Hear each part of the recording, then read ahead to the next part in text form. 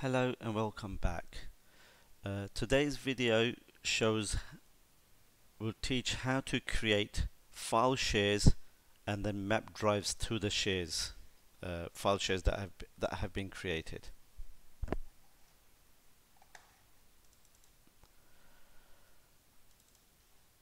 Okay, to create a file share which is uh, shareable with other people uh, it's done in the following way. So let's say we create a folder. Um, we can just call it share. Uh, so we can choose which location is going to go into first. So the actual location might be in data, then we call it share. And uh, once the once you have a folder that can be that you want to share out, there could be multiple folders in it that doesn't matter.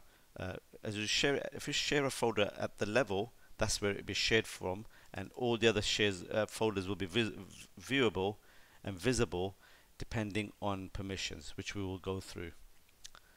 So first, to create the share, you right click and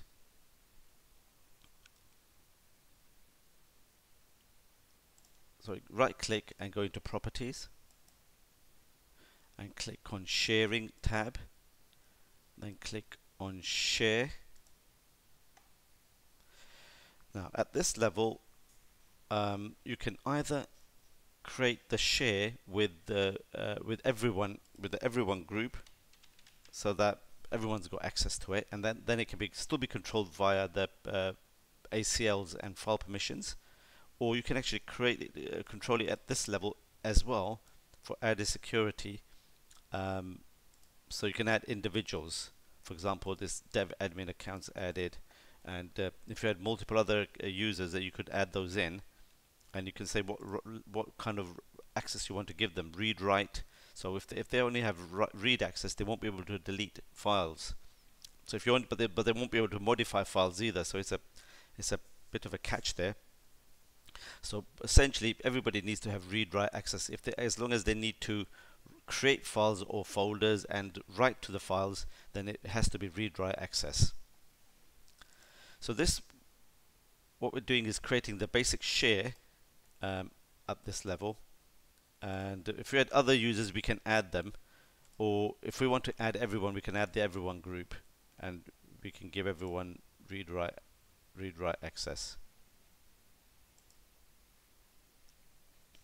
Once you've added the users who, who need to have access to the share, then you simply click on share. Once that's done, click done, and that is pretty much it. Now the share is is this. It'll be the server name backslash whatever the name of the share is. In this case, we call the share share, so it becomes this. Now, if you take this path, server name, which is dev01 backslash share and you can actually go to File Explorer and if I put the path there it will actually open up. At the moment it's empty but it actually opens up at that level. Um, we also need to add permissions to the folder um, at the folder level. Uh, this is done by again right clicking instead of sharing you go into security and you can say who's got access to it. So everyone's got full control uh, and uh, the account I'm logged in with, which is devadmin, has got full control. So for example, if we don't want to give admin full control, we can give everyone read-write access but take away full control. What that does is, for the full control, if we give them modify access, they can do everything. The full control uh, gives them access to create, add other people's to the share which we don't want them to be able to do necessarily. You want that to be controlled. Uh, but however, I'll do another video on that to show file permissions. Uh, and uh, once the once the share is created, uh, let's create a temporary folder in it. Let's call it TEMP. Now, to map the drive uh, to this folder. Now, th even though we created the share on the on the on the on the machine this machine, you can actually access this this server and map the drive from any other machine, which is the idea to map, map drives to from any other machine. So let's say you are on your Windows workstation, uh, like Windows 10 or Windows 7. It's done in the pretty much the same way. If you're on if, if you're on your Windows uh, machine, you would right click on this computer and choose Map Network Drive. Once this dialog box opens, you would select what drive letter you want to map the share to. So for example, you might want to map it to T or drive S because we've called it share. That's what we'll do. We'll drive, map it to drive S because we called it share. But you, you know, you might want to map it to a specific drive letter and you're free to do that. If a drive letter is in use, uh, then it will appear here as what it's mapped to. So obviously you can't map to that because it's already in use. So uh, I said I said we were going to use S uh, folder. So here we're going to use we're going to give the path. I mean that's it says folder, but that's actually incorrect. Uh, we want actually want to specify the the path like this server name share name. So the server name is dev. Actually we can look up the server here what the server name is. But you need to get that from your IT department or you need to look at whatever your server name is where you've created this share. If this if this share has been created on a Windows workstation that is also fine and you still be able to map, map a drive to it. Um, dev 01 so it's dev 01 backslash backslash share. Because we've got permissions already because the, the file permissions are already assigned you can actually map a drive uh, as long as it was active directory is uh, uh, servers there and you've used that you've given permissions for an active directory account you can just map the share. If you wanted to map map a drive which was two workstations which were which were not on in a domain you can still map the drive. But in this instance you would uh, create an account on the local machine and uh, choose this method to connect connect using different credentials. And then it will tell you uh, how to connect. But I will come back to that another time.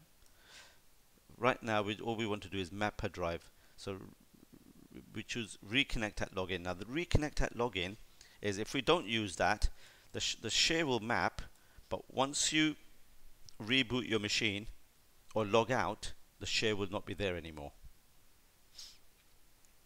And that is because uh, the share is uh, not not uh, this checkbox is not connect uh, not not checked. Reconnect at sign in.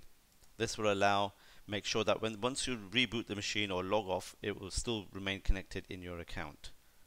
So we choose finish and the drive gets mapped and the temp folder is there. So we are now on S drive. You can see the S drive share folder mapped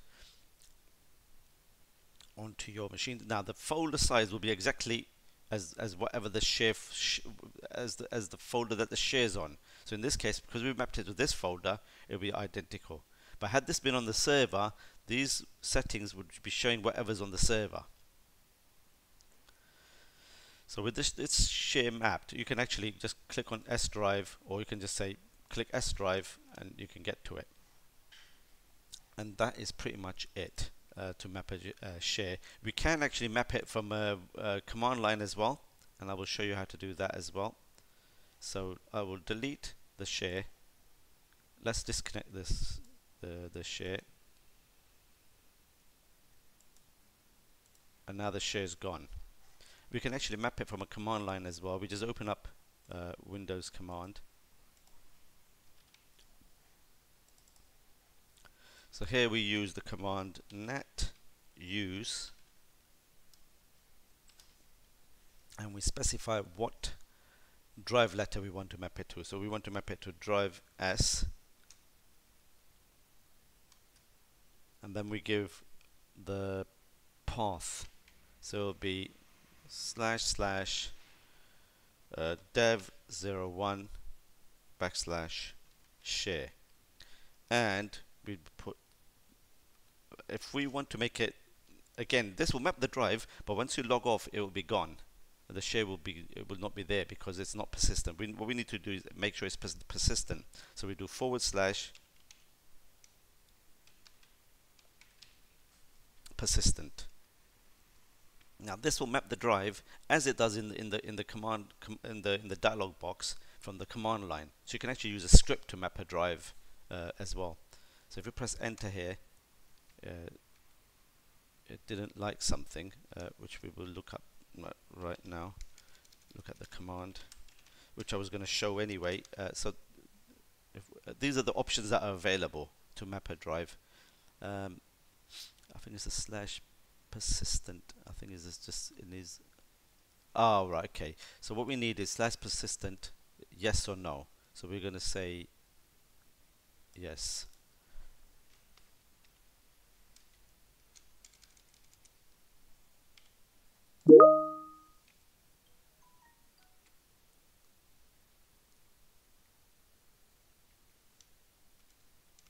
Persistent and it becomes yes so that will then map the drive. So let me go through the command again. Net use drive letter. So that's the command net use net space use. Then space you give the the drive letter that you want to map to. Please ensure that you know it's free by checking that it's free. Otherwise you'll just give an error. Then space the path you want to map to which is the share itself which is dev01 in this case uh, backslash share and if you want to make it persistent you put forward slash persistent colon yes. So now if I press enter on this this will map the drive. The command completed successfully. Now we had deleted the command from the from the thing and you can see it's appeared again. You can also delete from command line the share by choosing uh, net use s colon forward slash delete and you will see it, see it appear delete from here. You'll see it delete from there. Uh, see it's disappeared from there. And we can map it again to make it appear from the command line and you'll see it appear there. So that's how to do it in the command line and that's how to map uh, shares. I will do another tutorial if you want to, to uh, connect if you want to map drives and, and do file shares across workstations which are not on a domain uh, but that'll be uh, a separate video I'll do that on. Thank you very much for watching